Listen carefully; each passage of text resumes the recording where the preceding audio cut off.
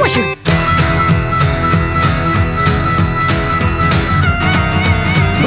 一つ立たない」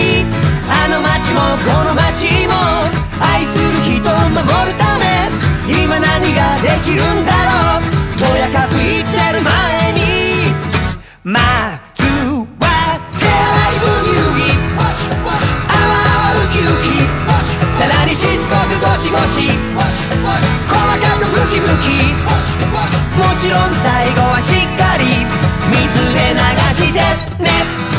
さあ手洗い始めるよ。よく手を濡らした後石鹸をつけ手のひらをよくこすります。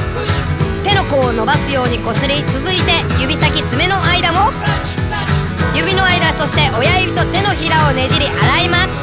おっといけない最後には